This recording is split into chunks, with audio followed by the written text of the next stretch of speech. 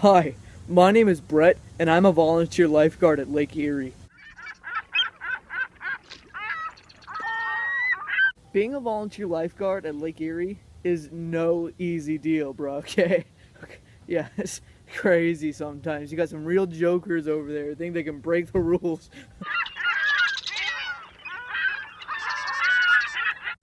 Ever since I was a little kid, I always wanted to be a volunteer lifeguard.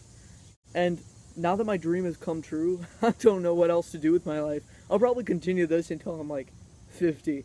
I don't know. I live on the beach, so.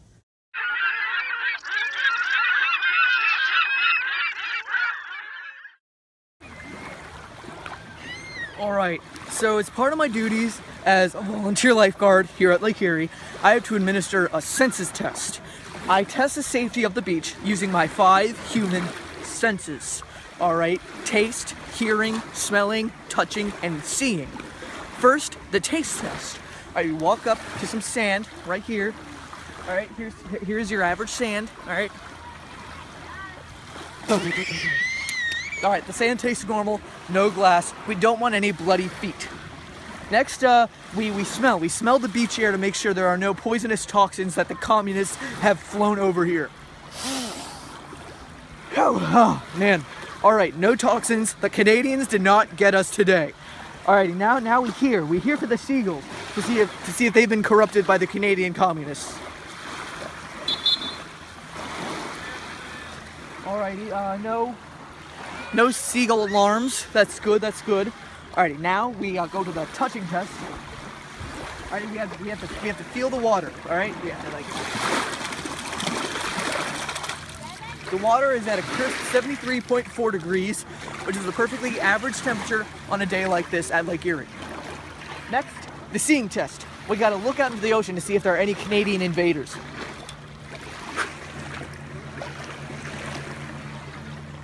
All right, no invaders today. That is my safety test. Now we gotta look for jokers who think they can break the rules on this beach.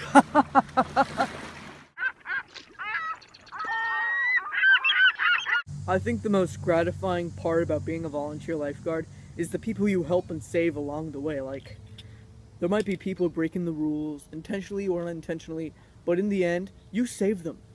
And that's what matters.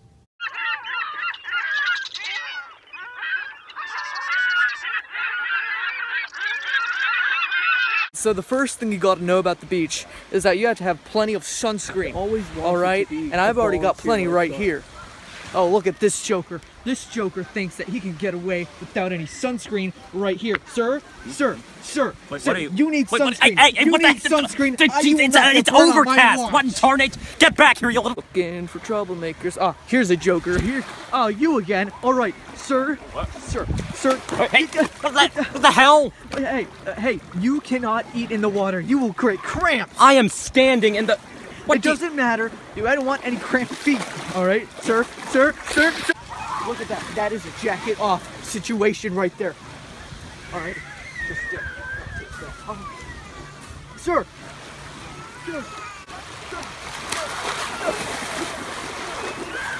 Hey, what are you? I Drowning. What do you think you're doing? I'm telling the real lifeguards about you. can't do that. Pass. Hey, you can't do that. In the end, I think I'm more than just a lifeguard at Lake Erie. I'm a volunteer lifeguard at Lake Erie. That's all.